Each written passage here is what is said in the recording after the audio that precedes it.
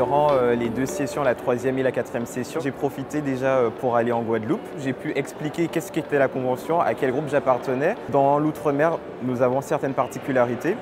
Et euh, du coup, j'ai pu bénéficier de la vie justement de Guadeloupéens comme moi. Nous avons également des groupes sur WhatsApp, mais également sur Facebook, sur lesquels les membres de la convention peuvent discuter. Et c'est vrai qu'on a pas mal réfléchi du coup à la session 4. Et c'est vrai que ça nous a permis un peu de préparer en amont euh, cet échange que l'on a eu avec euh, Emmanuel Macron hier.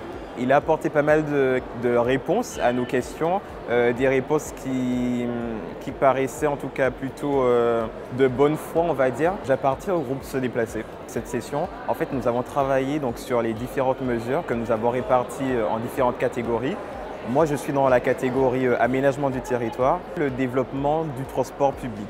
Je pense en tout cas que si on mettait en place ce budget vraiment consacré au déploiement euh, de vrais réseaux de transport afin justement euh, que les particuliers puissent euh, délaisser leur voiture personnelle pour utiliser des transports publics bien organisés, des transports publics qui donnent envie, je pense que là, on réduira en tout cas les émissions de gaz à effet de serre des voitures, dont on sait qu'ils sont assez importantes. La mise en place donc, du livrable, c'est un long processus, un long travail donc, qui va se faire du coup durant les dernières sessions, durant lesquelles nous devrons euh, transformer donc, nos idées. Ça va consister vraiment euh, à, euh, traduire en langage juridique nos mesures. En venant à la convention, c'est vrai que j'étais pas, euh, pas conscience en tout cas du pouvoir, en tout cas que nous en tant que citoyens on pourrait avoir.